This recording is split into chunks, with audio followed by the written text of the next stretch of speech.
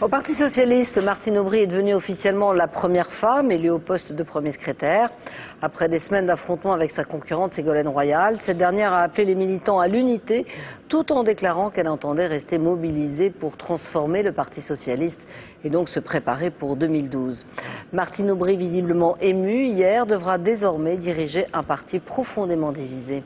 Hélène Hugues et Delphine Parek-Miller. Avec 102 voix d'avance seulement, Martine Aubry s'empare donc du Parti Socialiste.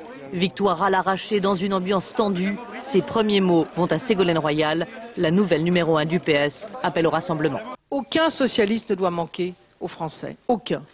Et euh, je l'ai dit à Ségolène, dans les équipes que nous constituerons, ses amis ont toute leur place.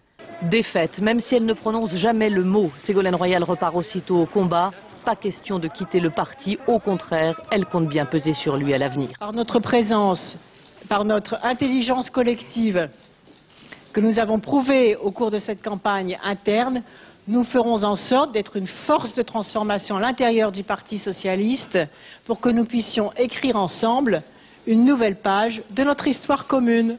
L'idée d'un troisième tour de scrutin n'est plus évoquée, mais certains de ses lieutenants n'ont toujours pas renoncé à saisir la justice pour contester l'élection de Martine Aubry. Les militants sans aucun doute majoritairement voté pour Ségolène Royal. Ce qui se passait ce soir euh, euh, est un délit de justice. Signe qu'elle ne baisse pas les bras, dès ce matin, Ségolène Royal s'adresse aux militants sur Internet. Elle prend date pour la présidentielle de 2012. J'ai besoin de vos idées parce que nous continuons. 2012, c'est bientôt. 2012, c'est demain.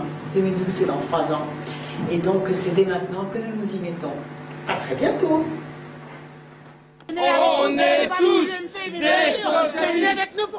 Après trois semaines de psychodrame, le Parti Socialiste trouve enfin un épilogue à la crise, mais de la base au sommet, les tensions sont loin d'être apaisées.